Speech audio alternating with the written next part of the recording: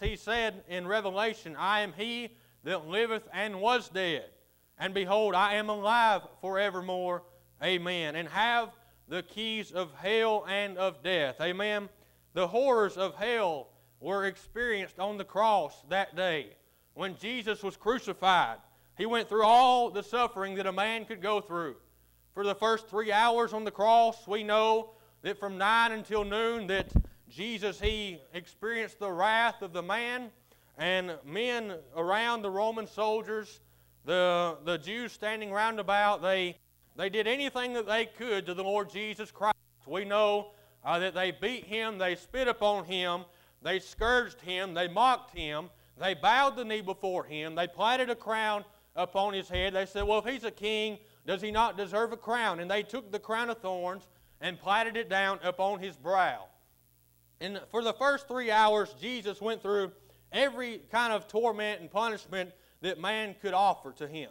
And so we understand that through the reading of the scriptures that Christ, he spent six hours on the cross. We know that at midday, the, the, the, the earth became dark, is what the Bible tells us. There was a, a total eclipse at, at noon, which is an impossible thing to happen, but not with God. Amen. On this day, Jesus, he uh, suffered the wrath of an almighty God.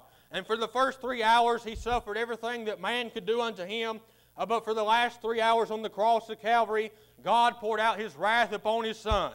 And Jesus was completely forsaken uh, by his Father until the debt was paid in full. And I think about the wrath that he uh, partook of that day, the wrath uh, that was poured out upon Jesus Christ that day, that Lamb of God, that darling Son. And, but I think about the, the scripture that he tells us in Revelation. He says, I am he that liveth and was dead, and behold, I am alive forevermore. Amen. And have the keys of hell and of death. And so we know that there was no fight that took place, but he willingly went and took the keys of hell out of the devil's hand, and he conquered death, hell, and the grave. Aren't you glad uh, for that? But in John chapter number 20, uh, when we get there, we find that they have came to the tomb. They've uh, came to anoint his body with oil and spices, and they uh, bring uh, they brought many things uh, to anoint his body with, and they are mourning over the death of the Lord Jesus Christ. Uh, but as I mentioned earlier in the sunrise message this morning, uh, when they got to the tomb, they found an empty tomb. Amen. But we don't serve an empty tomb. We serve a risen Savior today. Amen. Uh, I don't have hope in an empty tomb, uh, but I do have hope in a risen Savior. Aren't you glad uh, that Jesus is alive and well? He is still uh, on the throne today, and I'm glad that He's there to make intercession for us. Amen. the, the veil of the temple was rent in twain from the top to the bottom after He declared it is finished, and after He gave up the ghost. We know that that veil uh, it was rent in twain, and we know that it was ripped uh, from the top to the bottom, and that's symbolic, amen, uh, that the veil, uh, the covering, the, the thing that kept man out of the Holy of Holies, the thing that kept man uh, out of having communion with God and ha- out of uh, having fellowship with God was ripped when Jesus uh, died on the cross and said, It is finished, amen. And now we have access to God through the Lord Jesus Christ. We can boldly approach the throne of grace today because of what Christ has done on the cross of Calvary, amen. Amen. I feel like preaching this morning. I don't feel too good. I've been coughing all week. I've had a lingering cough for some time, uh, but I do feel like preaching for just a little while. Amen. I appreciate the Word of God, and I'm glad that we serve a risen Savior today. I'm glad that we have a hope uh, beyond this world. And amen. If we just had a hope in this world, uh, we'd be of all men most miserable, is what the Apostle Paul said. Uh, but I'm glad that we have a hope beyond this world. And the Apostle Paul, he said, I'm in a strait betwixt two, uh, having a desire to depart and to be with Christ, uh, which is far better than this world. Amen. Amen. And certainly to be with Christ, it's far better. I thought about all the people this week that may have lost their life. I thought about uh, the, the young girl that lost her life in Belmont. She, uh, she uh, closed her eyes in death in this world, amen. Uh, but she's with the Heavenly Father today, and He's taking care of her over in heaven, and she's far better off than we are today. And, and I wish to God that we could join her in heaven. And, and I, I long for the, for the day when I can go to heaven, amen. And the prayer that we ought to pray is what we read in the book of Revelation. He said, Even so, uh, come, Lord Jesus, quickly. Amen. And that's the prayer that every believer ought to be praying today is to come, Lord Jesus, quickly.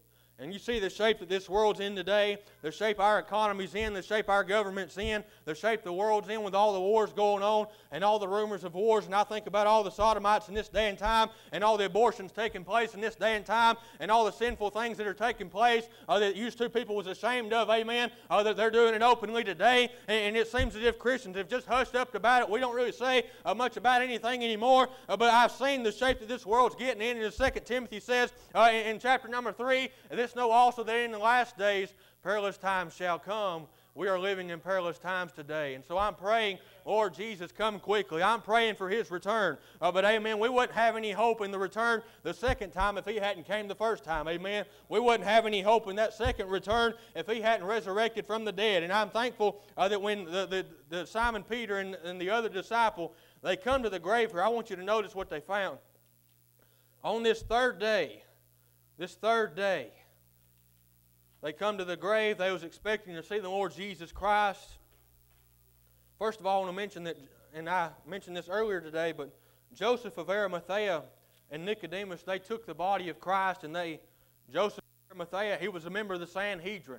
He was, he was a member uh, of the pretty much the, the Jewish Supreme Court, and, and he was um, he was wanting and he begged for the body of Jesus Christ after Christ had died.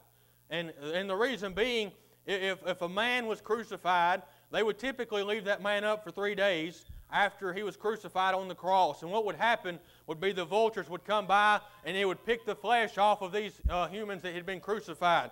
Uh, but Joseph of Arimathea, he begged for the body of the Lord Jesus Christ. And we understand today that he, not only did he beg for the body, but Nicodemus was with him. And I, I believe that's a sign right there that Nicodemus went on to believe in the Lord Jesus Christ. Uh, he went on to have faith because he cared about the life of Christ. And I think about today uh, uh how when, when, once Christ died, they took up his body and they, they wound it in linen, in, in the linen clothes. And the Bible talks about how uh, Joseph of Arimathea, he went and he'd bought some linen. He was a very rich man, but he wound the Lord Jesus in linen clothes. And when they when Simon Peter and the Apostle John come here to Joseph's tomb, this borrowed tomb, if you'd have it, they find that the linen clothes are lying in the tomb, but there is no Savior. And we know in the previous chapter, well, excuse me, it's actually in Matthew's account. Uh, they, they they're making sure, Pilate, he's saying, you know, we, we know what the Lord said after three days I'll rise again. He said, Pilate said, go, go your way. He said, You have a watch. He said, Set a watch by the sepulchre and make sure that that stone is sealed and make sure that nobody comes and steals the body of the Lord Jesus Christ. They was, they was saying here, do you not understand, Pilate, if, if if he's risen from the dead, or if somebody steals his body to even say he's risen from the dead, they said, the last error shall be worse than the first. And the Jews had already made a lot of mistakes at this point in time, but if, if Christ's body was not found on that third day, then they would be in a heap of trouble. And, and later on, they would lie about it. They would say somebody stole his body away. But when Simon Peter and the Apostle John, on the third day, when they get to the tomb, they look down and they see the linen clothes lying, and then they see a napkin that was about his head. I want you to notice the linen clothes and how they was lying there, and uh, the preparation that they took, or the care that they took of the Lord's body. But also, they, the, the Bible speaks of a napkin in verse number 7. It says, In the napkin that was about his head, not lying with the linen clothes, but wrapped together in a place by itself. I don't know how many of you are Bible students and you read about Jewish history and the things that uh, they believe, but in that day and time, Jewish people, they believed that if you were sitting at a table having a meal, then after you were done eating, you would take the napkin and you would wad it up and you'd throw it on your plate and you'd get up and you'd leave. That was the custom. If a man sat down to eat and he took the napkin and laid it in his lap as you're supposed to do. I'm not, I'm not proper with my etiquette when I go out to eat. I don't know how many of you are, but I think about when, when in this day and time, if you sit down to eat a meal, if for some reason you have to get up and walk outside, or if you're going to talk to somebody in the middle of a meal, you're supposed to take the napkin and you're supposed to fold it. and you're supposed to lay it on the table. That way, if a waitress or a waiter comes by, they see you're not finished and they see that you're coming back. Well, that's what this is a picture of here. When you see the napkin that is laid aside by itself, it's wrapped together in a place by itself. It's symbolic meaning that Jesus got up and he's went away, uh, but he's got a message for the people. He says, I'm coming back. Amen. And I'm glad that certainly he did come back. And one day, after a while, he will come back again and receive us unto himself, that where he is, there we may be also. I'm glad today that we have the promise that he will return once again one day. Can you imagine living in the Old Testament days looking forward to the Messiah, looking forward to that, uh, that one to come, that Jesus that you hear about? They, they say there's going to be a Son of God to come one day after a while. And all the Old Testament prophets, the major and minor prophets, they heard about the Lord Jesus Christ and how one day He would come, but they never did see the day of His coming. Amen. But because of faith, they had faith that one day He would come. And, and the people in the New Testament, uh, the, they saw the Lord's life and they saw uh, His burial, His death, His resurrection, and, and, they had something to look back to. They had the cross to look back to. They had the uh, empty tomb to look back to, and it was easier for them to have faith. But when you read about the heroes of faith in Hebrews chapter 11, it's all people in the Old Testament because they had to have faith without seeing. Amen. And, and we're in the same boat today. Although we have history books to look at and we have the Word of God that we can read and we can meditate on, and we know that Jesus has done came the first time and that He was dead, He was buried, and He resurrected that third glorious morning, we have to have faith. With the eye of faith, we've got to look forward, and we may not be able to see the, in our lifetime the Lord coming back, but with the eye of faith, we have to believe that He will come back. And you have to have faith today. Amen. The disciples and the women that come to the tomb, they were astonished to not find him there. It seems as if they, uh, they were expecting him to be there. Jesus had prophesied many times. He said, Three days and three nights in the heart of the earth shall be, and the third day I shall rise again. And he had told them that, but the Bible said they understood not the things that he said. But on this day, Bible says that the two, the two disciples, they came by, they saw that the napkin was laid again in a place by itself. They knew what that meant. They knew what Jewish custom meant. When, when they saw a napkin that was folded, they knew that that meant something special and of importance. But after they leave, the Bible says Mary stood without at the sepulchre weeping. And as she wept, she stooped down and looked into the sepulchre and seeth the two angels, one sitting at the head of where Jesus had laid, one sitting at the feet where Jesus had laid. And then the Bible says she turned around and she saw Jesus. And here she supposed him to have been the gardener. This is the same Mary who he had cast the devils out of. She'd seen Christ before. She had seen the face of Jesus Christ before, and she had walked with him, she had talked with him. And she supposed him to have been the gardener. And he said, Woman, why weepest thou? And then he asked the question, Whom seekest thou? She said, Sir, if you, if you have borne him hence, saying, what she's saying here is, if you know where the Lord Jesus is, would you tell, him, tell me where he's at so I can go and retrieve his body and take him away? The Bible says in verse 16, Jesus saith unto her, I want you to notice this right here. If you don't catch anything else today, I want you to notice this right here. When she supposed him to have been the gardener, then she, she says, Lord, if you, or she says, if, if you know where the Lord's body is at, will you tell me so I can take him away privately and where I can anoint his body?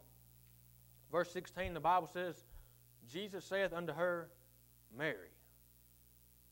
When he called her name, then she realized who he was. And I am reminded about the night that I got saved. I knew I was a sinner, but that night in specific, Jesus called my name and he, he revealed to me my sin. He said, Micah, you're a sinner and you've offended me. And, and, and I understand when I was lost, you don't really realize what all's occurring. And when you get saved, you don't really realize what all Jesus has in store for the believer. You just think that He's saving you from your sins and He's saving you from a place called hell. There's a lot more in salvation than just that, amen. He certainly does bless the believer, amen. But when Jesus said unto her, Mary, the Bible says she turned herself and saith unto him, Rabboni, which is to say, Master. And so when she called his name, then she realized who she's talking to, amen. Uh, she realized that he was the Master. And aren't you glad uh, today that Jesus is the Master? He's Lord. Uh, he's the Master of the sea, Sister Kel. Uh, the song that we sing, I'm glad uh, that when the waves are over our head, they're under his feet. I'm glad uh, that when the disciples, when they were on the ship that night and they saw the storm coming their way, uh, they, they said, You know, Lord, can you not come help us? But when he came up to the top of the ship and he rebuked the storm and said, Peace be still, then they said, What manner of man is this? Even the winds and the seas obey him. They knew who to go to in time of trouble, but once he come to help them, they didn't have faith that he could do anything. But she here, she saw the Lord. He called her name, and she said, Master. I'm thankful today for the third day, aren't you? I'm glad that we can rejoice today because of the third day. The third day has a lot of meaning in the Scriptures. In the book of Genesis, chapter number 1, you read about the third day and how the third day that, that uh, there was life that began to bud in the plants and then the herb yielding fruit. We understand that that's a picture of life on the third day. You know how it is when spring rolls around, you, you have the winter months and everything looks dead as a doornail. But come springtime, after a few warm days and after uh, a few showers, you see trees starting to bud, you see flowers starting to bloom. And what a picture of the resurrection. Amen. Resurrection Day, the third day, it's a wonderful day to me. And everybody here today looks nice. You're all dressed up. You have pretty colors on, and everybody seems to dress their best on Easter. But Jesus, He give us our best. We ought to give Him our best. We ought to give Him our best all the time. Amen. He give us His best, and so we ought to give Him our best. And I, and I, I always try to go by that mindset. But I think about how that we've come here today, and it's a, it's a day of, of color. It's a day where that everybody's wearing different pretty colors, and, and you, you, you see everybody, they're wearing their best outfit. They, all you ladies, you try to find the prettiest dress you can find for Easter Sunday. And, and, and, and I, I know uh, that people, they, they, they list this day a lot more important than other days. But for the child of God, every Sunday is a, a day where we can celebrate the resurrection. But I, I understand the reason for wanting to be colorful on this day. It's such a beautiful day.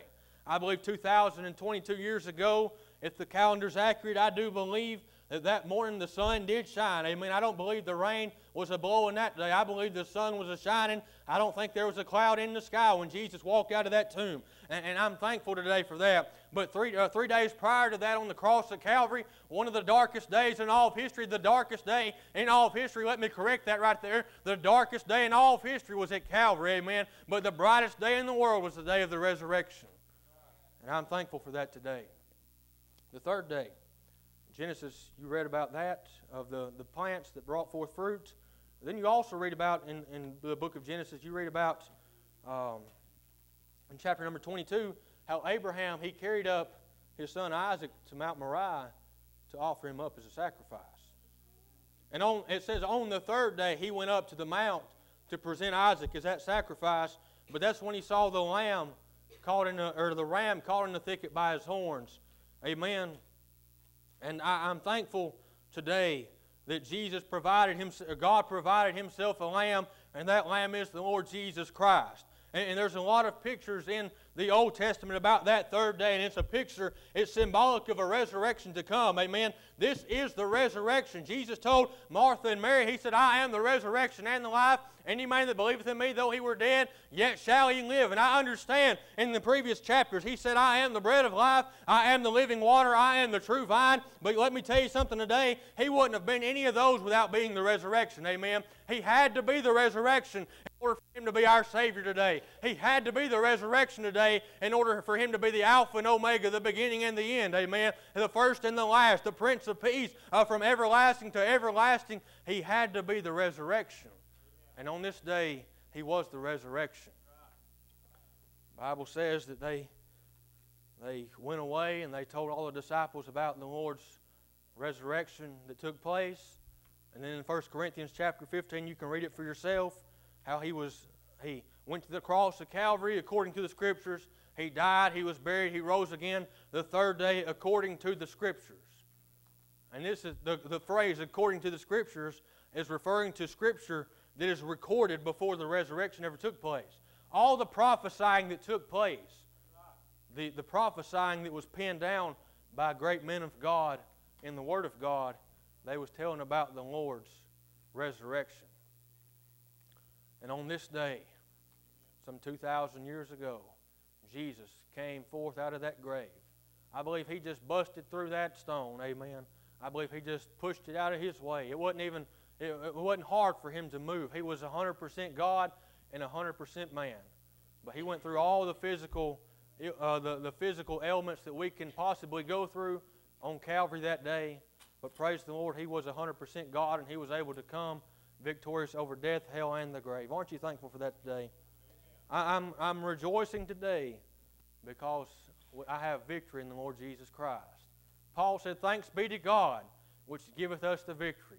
The song we said, Because He lives, the song we sung earlier, the second verse of that song, it says, How sweet to hold a newborn baby and feel the pride and joy He gives, but greater still, the calm assurance that this child can face uncertain days because He lives.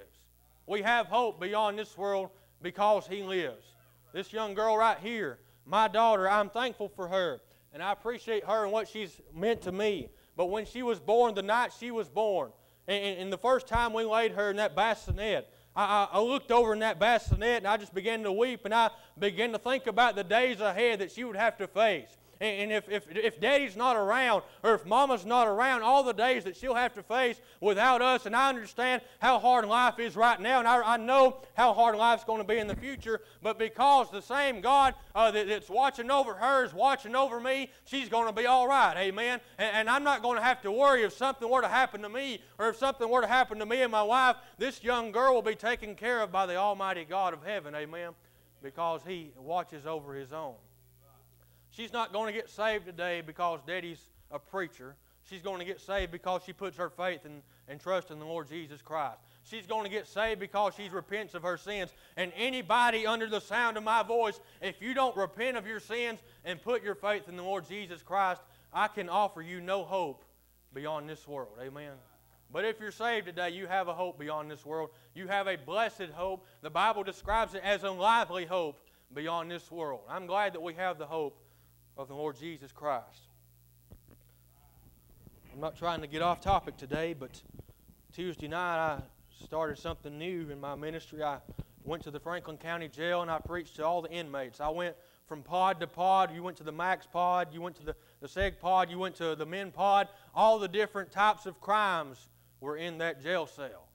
And, and when you step in a cell, and the officer says, Well, there's a button right here by the door. If you need me for anything, you just press that button and I can be here in 30 seconds. I'm sitting here thinking I can be killed in under 30 seconds. And, and, and when he walks out behind me and that door shuts, that big steel metal door shuts behind me, and there I am with 15 to 20 inmates who've committed all sorts of crimes, and they're all just staring at me. And I, what I, but I felt a peace of God that come over me. And I said, You know what? The Lord's put this on my heart. He's going to take care of me. And as I opened up the scripture to him, I said, I don't know what y'all have done. I know some of you what you've done and why you're here, but that's not my concern. As I opened up the Word of God, He didn't give me a spirit of fear, but of peace and of love and of a sound mind. And I began to preach the Word of God to those men and, and I began to tell them about no matter what they've done in this life, no matter what kind of sin they've committed in this life, there's a God in heaven who still loves them today. Amen. It doesn't matter how far out in left field they've got. I said the, the fact of the matter is, no matter what you've done, if you don't put your faith in the Lord Jesus Christ, you'll perish in a place called hell. I said there's people today that sit on the church pews their entire life and don't put their faith in the Lord Jesus Christ. And there's church members today that will die and go to that awful place called hell. Let me tell you something. I told him, I said, just because I'm on the other side of the bars doesn't mean I'm any better of a person. In the eyes of God, we're all sinners. And when God looks at us, He's looking for one thing, and that's the blood of Jesus Christ. Amen. But, but Jesus' blood would not have been worth anything had it not been for that third day, amen. But praise God, the third day he got up out of that tomb and he walked and he began to walk into Galilee and, and he, was, he appeared before 500 men at once and he began to tell them how he's about to go away after 40 days. But then in, in, the, in the same manner as he went up into heaven, one day after a while, he'll come back that same way. He'll come back on a cloud one day to receive us as his own. Amen. But I'm asking you today, I know it's Easter Sunday. What better kind of a Sunday to get saved by the grace of God than on Easter Sunday? You say, Preacher, I've got, I've got dinner plans after this. Well, the dinner can wait as far as I'm concerned. Your soul is more important to me than eating a meal after this. Amen. I certainly believe if you don't know the Lord as your personal Savior, today would be a great day to come to know Him. Sister Kell, if you would make your way to the piano today, I'm about finished. And I appreciate everybody today for coming out to the Lord's house. I appreciate you listening to me. But I want you to understand something today.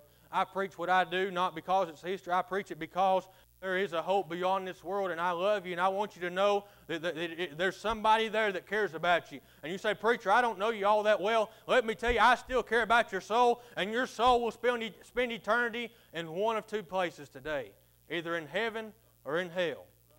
We was in the cemetery yesterday over at Bethlehem, and uh, where my daddy's the pastor, and we was looking at all my great grandparents and all them, and some people from the Civil War that had fought in the Civil War, and privates that had fought out in the Civil War, and the, I mean, some some graves in that cemetery are so old they those men were, were almost here before the founding of this country.